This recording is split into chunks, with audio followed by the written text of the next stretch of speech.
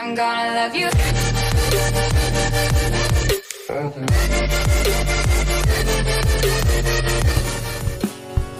Selamat datang di channel Bola Ribon. Sebelum video dilanjutkan, supaya menekan tombol subscribe, supaya teman-teman bisa mengetahui update bola tiap hari di Indonesia maupun internasional.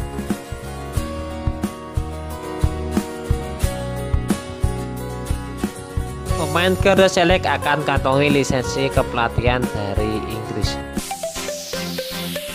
Tak hanya mengikuti latihan dan laga uji coba melawan di Inggris, skuad muda asal Indonesia Garuda Select juga dibekali dengan kursus pengambilan lisensi kepelatihan dari The FA. Lisensi kepelatihan ini dapat digunakan penggawa Garuda Select untuk melatih sebuah klub sebagaimana lisensi pada umumnya. Sebab sertifikat ini sendiri langsung dikeluarkan oleh FA, organisasi sepak bola tertinggi di Inggris. Namun, meski sudah mengantongi lisensi sebagai pelatih, para pegawai Garuda Select tetap difokuskan untuk menjadi pemain sepak bola andalan bagi klub. Dan timnas bisa pra pemain dapat menggunakan sertifikatnya saat sudah dewasa nanti. Meski masih berusia rata-rata 16, 16 tahun, mereka sudah dibekali ilmu kepelatihan langsung dari Inggris yang berguna bagi karir di masa depan, ungkap Direktur Teknik Garuda Select dari Swiss. Instruktur dari DFA pun membekali para pemain Garuda Select dengan mengetahui dasar kepelatihan. Salah satunya adalah bagaimana menangani pemain yang cedera saat di lapangan. Banyak sekali hal penting yang diajarkan salah satunya cara menangani kondisi darurat di mana salah satu rekan jatuh pingsan papar pegawai Garuda Select Arsas Aramadan Ahmad. Langkah-langkah yang dibutuhkan seperti membuka saluran pernafasan, mengarahkan kepala menghadap ke atas hingga mengecek detak jantungnya. Semua menjadi wawasan baru bagi kami tanpa pesepak 12 tahun tersebut. Kursus lisensi pelatihan ini dilakukan setiap pekannya diselangi laga coba Select menghadapi tim sepak bola Inggris. Dalam waktu dekat, Arsan Ahmad dan kawan akan menantang tim Preston North End U18 pada Selasa 25 bulan Januari 2020 mendatang.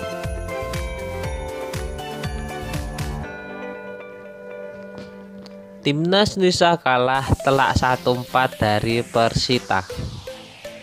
Timnas Indonesia senior kalah telak dengan skor 1-4 dari Persita Tangerang dalam laga uji coba di Stadion Madia Jakarta.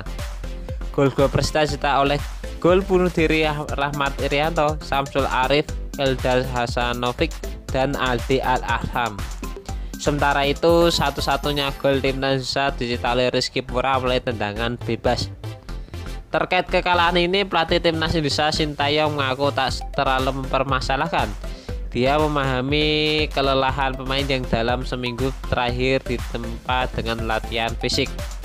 Skor tak penting karena kami memang perlu mengadakan laga seperti ini, kata pelatih timnas Sintayong. Karena mau melihat kemampuan pemain, kami juga harus cek ulang untuk pemain yang sudah dipilih. Sintayong kemudian mengungkap bahwa pemain-pemain yang dipanggil bukan pilihannya, Pelatih asal Korea Selatan itu menyebut bahwa 34 pemain merupakan nama-nama dari rekomendasi Indra Shafri. Pemain sebenarnya bukan pilihan saya, tetapi pelatih lokal Indra Shafri. Kami sengaja mengadakan pertandingan untuk melihat kelebihan kekurangan pemain tutur Shin. Sekarang kami sudah melihat jadi sudah tahu kelebihan dan kelemahan mereka ucapnya. Pelatih Sintayong memberikan instruksi saat seleksi pemain timnas U19 di Stadion Wibawa Mukti. Rekomendasi nama ini diberikan Indra Safri dalam pemesanan latihan timnas U19 Indonesia di Chiang Mai, Thailand.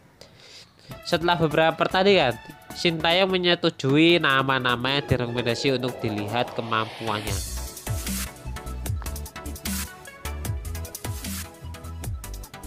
Pelatih Gelan FC mengira Ryuji Utama pemain asing Persija. Pelatih Gelan Internasional FC Moh Nur Ali sempat mengira Ryuji Utama sebagai pemain asing Persija Jakarta. Diakuinya kalau Ryuji sangat penting dinilai belakang Persija. Seperti ketahui dalam laga uji coba internasional di Stadion Utama Gelora Bung Karno SUGB KA Persija menang 3-1 atas Gelan FC. Muhammad Ali menyebut kalau pertandingan ini sangat baik karena bisa menguji timnya yang bakal berlaga di S. Ini pertandingan bagus, perlawanan yang sangat bagi bagi kami bagi saya. Ini pertandingan yang bagus di depan Jackmania yang amazing, fantastik. Mereka betul-betul mendukung Persija 90 menit, ungkap Ali kepada wartawan. Pertama Marco Simic merepotkan begitu juga di lini belakang. Pemain asing pemain Ryuji Utomo sambung dia yang lantas disangga media ofisial Persija kalau Ryuji Utomo pemain Indonesia. Muhammad Ali menyebut kalau memang ex-back Arema FC itu tampil sangat baik mengawal lini belakang Persija. Stamina juga sangat terjaga sehingga bikin timnya kesulitan menembus pertahanan macam Kemayoran. Ya Persija punya banyak pemain bagus. Betul Ryuji punya visi yang bagus, dia bermain stabil sepanjang laga dan penting di lini belakang Persija. Saya juga tertarik dengan penampilan Osvaldo Hai tutup dia. Asisten pelatih asal Inggris uji sifat para pemain Indonesia di Garuda Select. Asisten pelatih asal Inggris yang melatih anak muda Indonesia di program Select Denny Wolsem mengungkapkan wujudnya pada semangat anak Indonesia. Deretan bakat muda sepak bola Indonesia kini tengah menuntut ilmu di Inggris dalam program Garuda Select.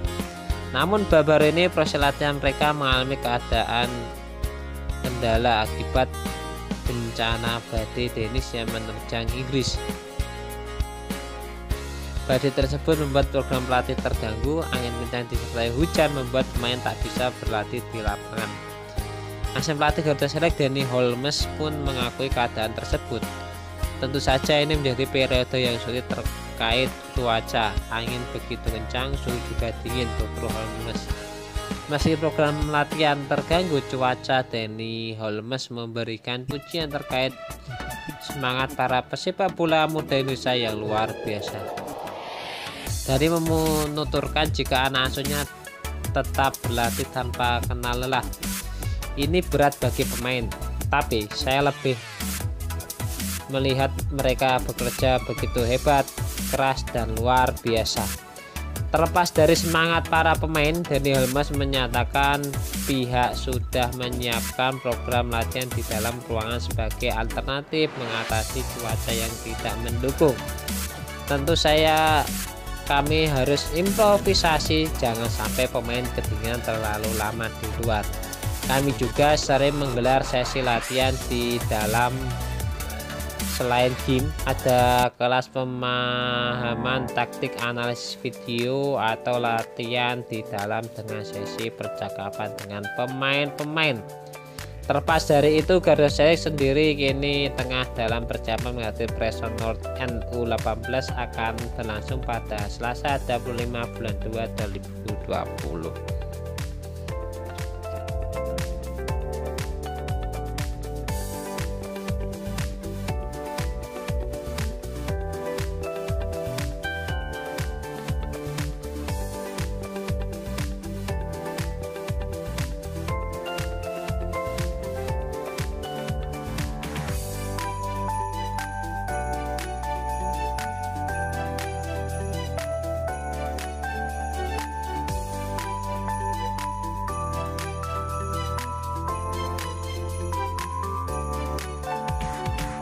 Asisten pelatih asal Inggris yang melatih anak muda Indonesia di program Select Denny Wolsem mengungkapkan wujudnya pada semangat anak Indonesia.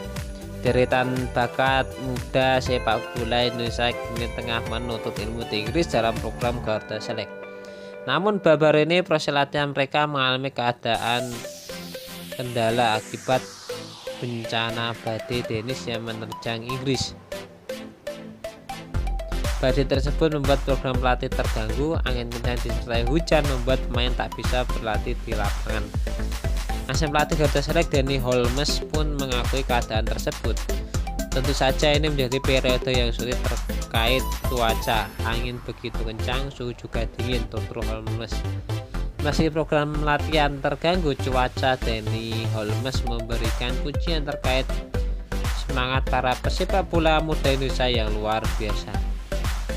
Dari menuturkan jika anak asuhnya tetap berlatih tanpa kenal lelah. Ini berat bagi pemain, tapi saya lebih melihat mereka bekerja begitu hebat, keras.